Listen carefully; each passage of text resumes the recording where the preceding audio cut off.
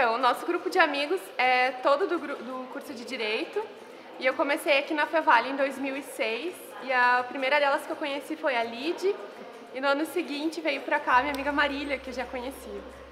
Bom, uh, eu, como a Rafa falou, cheguei em 2007. Uh, inicialmente conheci a Rafa, depois fui conhecendo as gurias.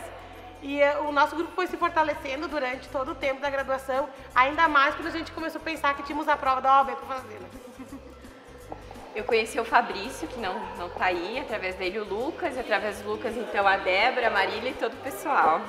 Acho que o nosso grupo é, tem uma relação de amizade muito forte, visto que eu e a Débora e o Lucas já somos amigos desde os 15, 16 anos, então é algo que só se fortalece com o tempo.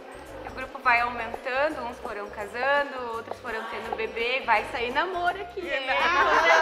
Mas deixa. Eu entrei no grupo depois de todo mundo, entrei no grupo por causa da Débora, conheci todo mundo, me formei com a Rafa e acho que uma das coisas que eu mais tenho dozinha assim é de a gente não ter se formado todo mundo junto. É, isso né? ficou faltando, mas pelo menos conseguimos ir na festas um, do, um dos, dos outros, outros, né? É verdade.